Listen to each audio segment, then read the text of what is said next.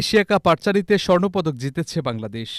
রোববার চাইনিজ তাইপেতে অনুষ্ঠিত ফাইনালে কাজাকস্তানকে পাঁচ তিন সেট পয়েন্টে হারিয়েছে হাকিম আহমেদ ও দিয়া সিদ্দিকি জুটি। কাজাকস্তানের বিপক্ষে ফাইনালের শুরুটা অবশ্য বাংলাদেশের জন্য ভালো হয়নি।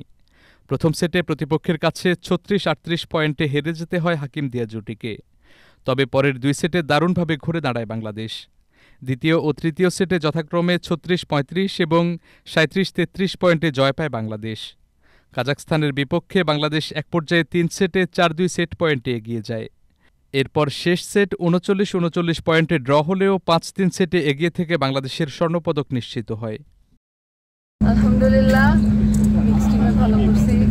ইনশাল্লাহ আরও ভালো করার চেষ্টা করব। ফাইট ভালো ছিল এবং আমাদের ফিরে আসাটাও ভালো ছিল। ইনশাল্লাহ যেটা হয়েছে আলহামদুলিল্লাহ আল্লাহর উপর ভরসা রেখে খেলতে পারছি। এটার জন্য আল্লাহর উপর আল্লাহর কাছে লাখ লাখ শুক্রিয়া।